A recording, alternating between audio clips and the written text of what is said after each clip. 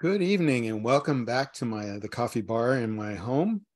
I'm Joseph Brewer, and tonight we're going to start on uh, uh, session four, discussing my book, A Practical Guide for Church Ushers and Greeters. And uh, let's go ahead and jump in. So the first thing uh, tonight is be excited when you greet people a little exuberance goes a long way when you're greeting people. Um, make them feel like you're excited to meet them because you should be. Uh, you should be excited to meet guests and to welcome them to your church.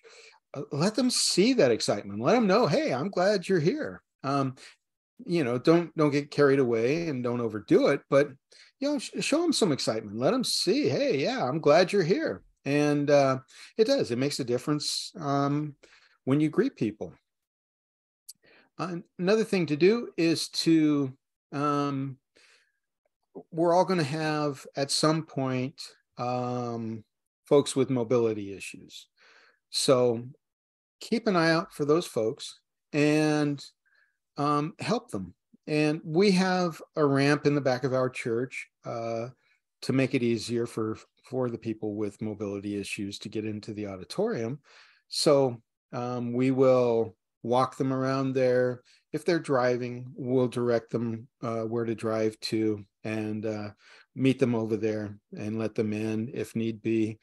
Um, we also have a wheelchair that we keep in our church. So if somebody shows up that doesn't have a wheelchair but needs it, or uh, even if an emergency arises and we need to use the wheelchair, uh, we have one available that the uh, um, the ushers, greeters, and others can use uh, to assist folks. But look for people with the mobility issues that need help. Um, eh, we're all going to get there at some point in our lives that we're going to need a hand um, if we live that long. So uh, we're going to want somebody to be kind to us. We're going to want somebody to be looking out for us. So um, take that opportunity and uh, look for people with mobility issues so you can help them. Something else to keep in mind is trash isn't appealing um, on your property. And uh, you may not be tagged or designated as a janitor or the groundskeeper or something like that. But if you see trash out in the front of your church in your area that you're greeting, um, go pick it up, throw it away. Um, you know make the front of your church look presentable. Um, that's part of um, welcoming folks and greeting folks because if you um, yeah people show up and you're stepping over trash to greet them it, it it's not going to reflect well on you. So uh, go ahead and pick up the trash throw it away before people get there. Um, trash blows in while you're there go throw it away take care of it. Um, you know we're again uh, we're there to serve um, following the service, many churches have a time of fellowship. Uh, many will have food uh, and uh, those types of things. So make sure that the people that show up, the guests, um, know where uh, they can go after the service is over, where you can take them, um, where they can go to have food and where they can go to fellowship. And also maybe you connected with them. Maybe they see you as the person they connected with and they would like to spend time with you. Make yourself available for that. Um, you know spend some time with them. If if if you're that person spend some time with them. Get to know them a little bit and take them over to where the food is the fellowship introduce them to people um, show them around. Make them feel comfortable.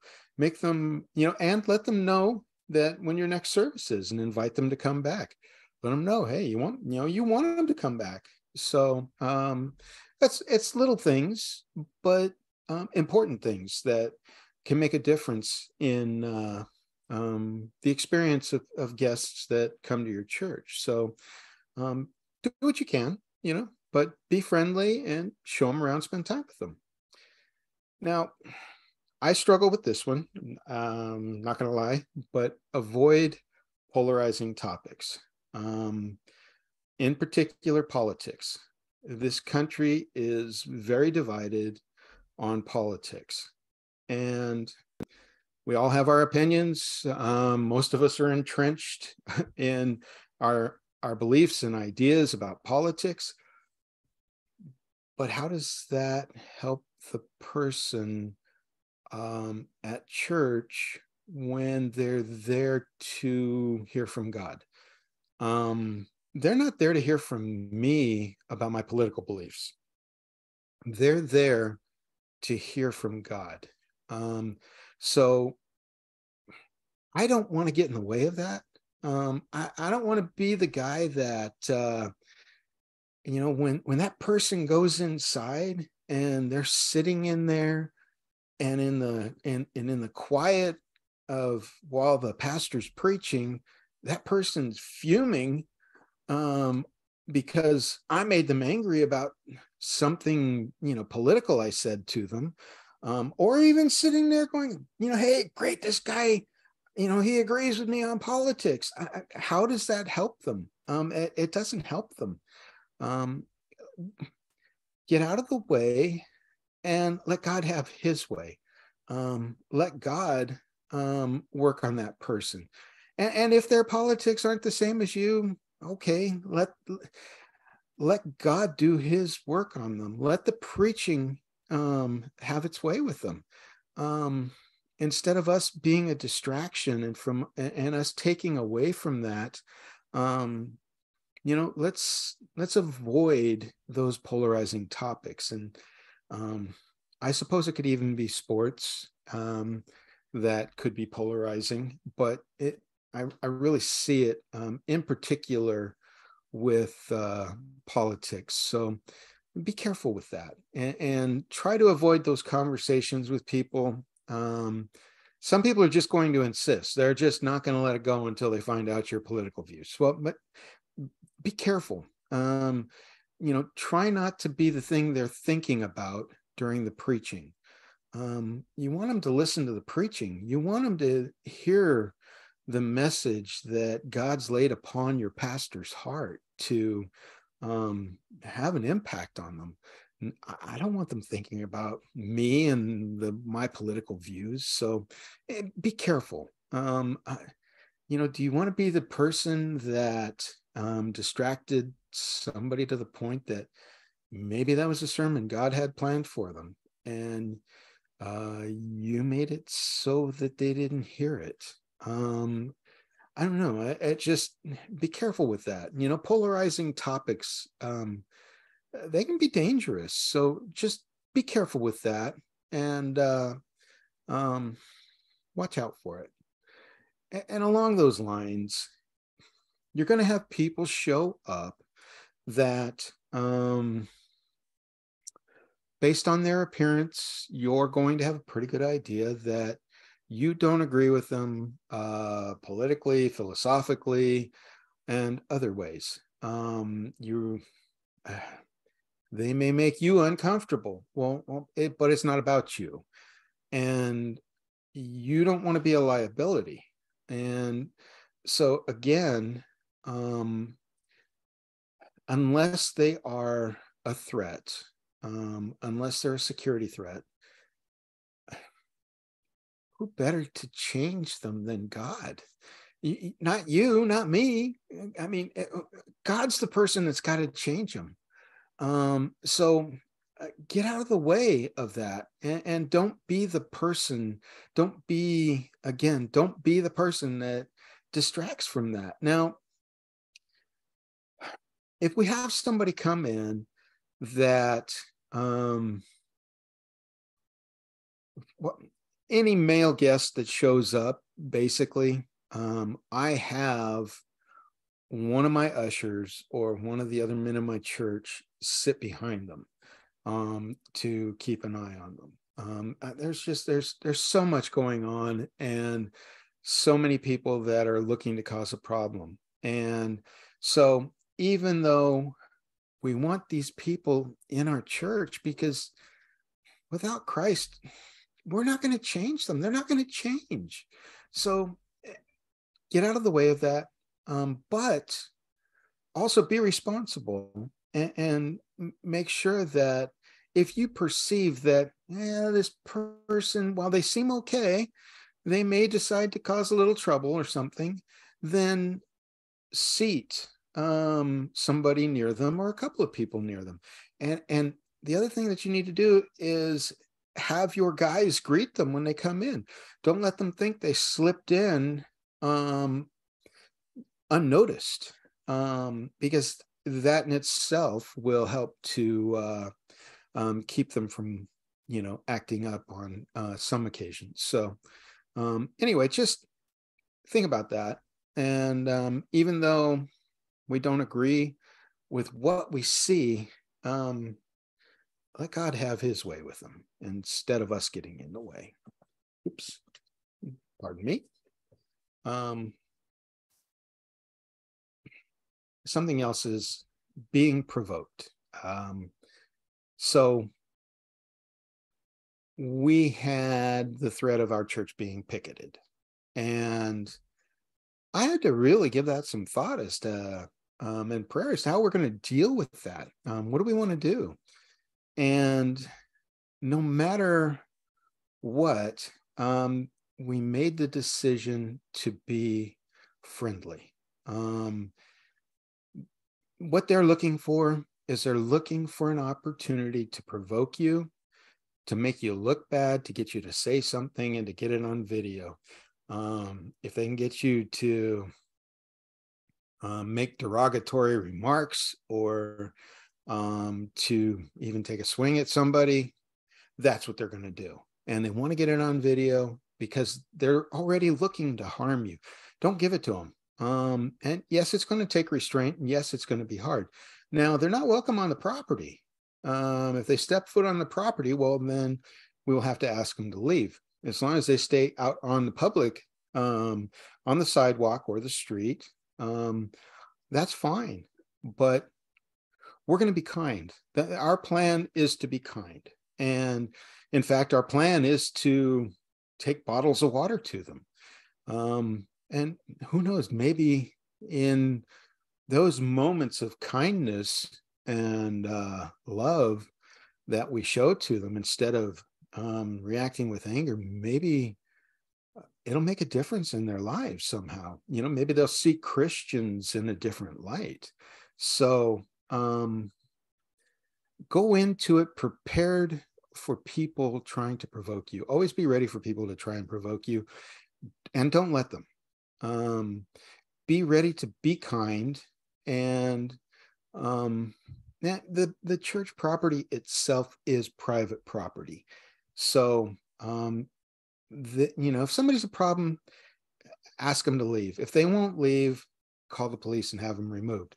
But in your interactions with them, talking to them, uh, be kind and and don't give them what they're after. Don't give them the reaction they're looking for. Um, and I, I don't know, maybe maybe I, I don't know because we haven't had actually we didn't it didn't actually uh, happen, but maybe we can change uh, how people view us through a little kindness and a little love in that kind of situation and you know but like i said our plan is to take them bottles of water. And even though you know they're there picketing us even though they're there trying to disrupt and cause us problems um if we're kind and take them a bottle of water i it, i can't even imagine how that would blow their minds and short circuit their thinking. So um something to keep in mind something to think about uh, come up with a game plan though uh, figure out what you're going to do in a situation where people are trying to provoke you. Um, and I'm not talking about a security threat. I'm talking about people who just want to provoke you and are trying to get a reaction out of you that they can, you know, they got somebody with a phone or a camera trying to get you um, a video of you reacting poorly so they can use it against you or uh, witnesses that uh, they can use to sue you or your church, um, don't give it to them. Uh, just don't give it to them. Now, if they're a security threat, um, that's a different situation, and, and you'll have to deal with that in a different way. But um, yeah, don't give it to them. It's uh, that's what they're after, and turn it back on them. Don't don't just don't give it to them. Be kind. Be friendly. So anyway, come up with a plan, something that uh, you think will work for you and work for your church and uh, you know prepare for it and, and be ready for it to happen so now we're going to move into usher specifics um, everything else has been generalities and um, now we'll move into um, some specific duties of ushers and okay because i like it i'm going to read uh, the definition uh, I came up with for an usher. And um, uh, this is based on 25 years of ushering, um, speaking with my other ushers, observing things, watching, praying, and talking about it. I was I was really struggling to come up with um, an actual definition for an usher because it's so much more than what people think it is. Um, so let me read this to you and uh, we'll go from there. So, what is an usher? An usher, he is the can do, will do, go to guy for his pastor during the services at his church. He sets aside his personal desires to serve his pastor, the congregation, and the guests in attendance. He is the smile and extended hand of welcome as you enter the doors of his church. He's the guy ready with the answers to your questions, or he knows where to go to get those answers. The professional manner in which he conducts himself creates a smooth and seamless worship experience for all those in his building. He's also the watchman at the gate, keeping an eye out for dangers. He has a plan for when unseen, unforeseen circumstances arise. He's prepared to act decisively when called upon. He's also the guy that will show you to your seat and is entrusted to take up the offering. Um, it's ushering is so much more than just showing people to their seats or taking up the offering. Um, also, leaders. And you may not think of yourself as a leader, you may not think of ushers as leaders, but um, because he's there, um, standing there, you're interacting with him, he's going to the front of the auditorium. There is some measure of leadership by his decorum, his dress, um, the way that he acts and carries himself and the things that he does and the way that he serves. So there is something of a leadership um, role um, in ushering. So um, use that. It's, you know, um, use it to be a blessing. Use it to help others to see um, how they might want to conduct themselves uh, during the preaching um, or just when they come to church services. And I think I mentioned uh, previously that the apostles were Jesus's ushers. Obviously, they were much more than that, but they were his ushers also. So um, it's it is an important position. Um, if even the Lord had ushers, because he did. Those apostles, they um, they brought people to him. They held back the crowds. Um, they served people. Now, it's you know it's a dual position for them as apostles, um, but they were ushers also. Um, so I think that I don't know. I think that lends some uh, a little more credibility to um, the position of an usher when the apostles were ushers. So it's more than just taking up the offering and showing somebody to a seat. And you can make it much more than that.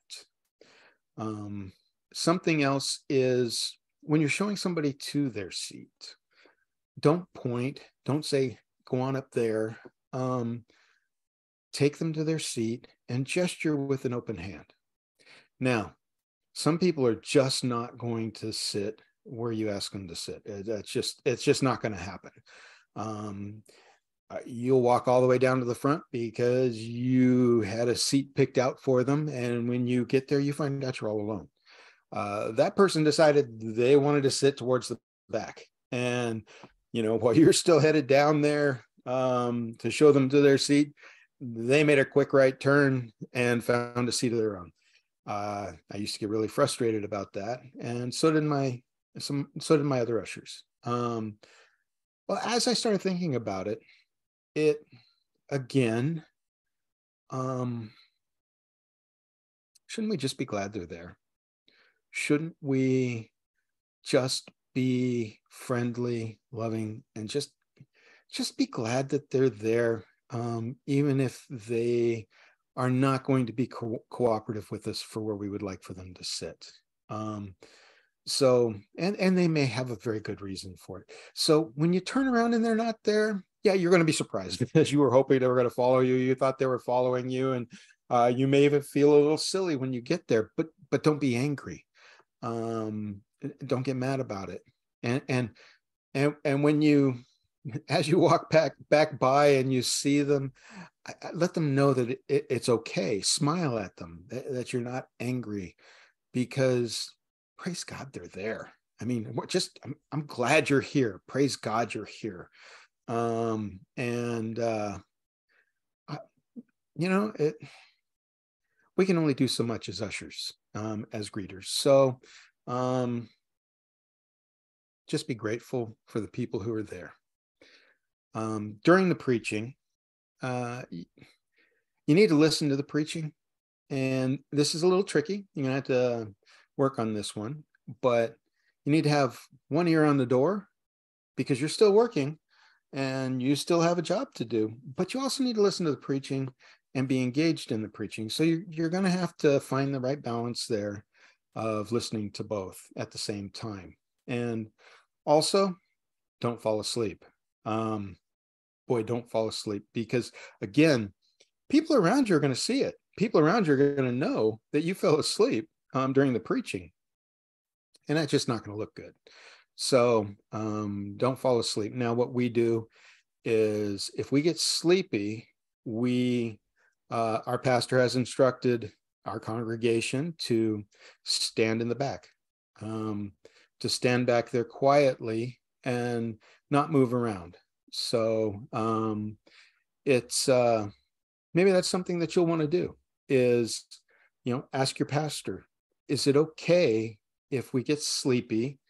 If, you know, you know, people are working. Um, you may just come off of a, a long shift, went home, showered, changed your clothes, got into your suit, got to church or whatever, and yeah, you're going to struggle to stay awake the moment you quit moving. It, it's going to be tough to stay awake. So um, find out with your pastor is it okay if I get sleepy um, from you know working? That is it okay if I stand in the back? Is it okay if I I'm not going to move around? I'm not going to be a distraction. I'll just find a place in the back where I can stand so that I can listen to the preaching.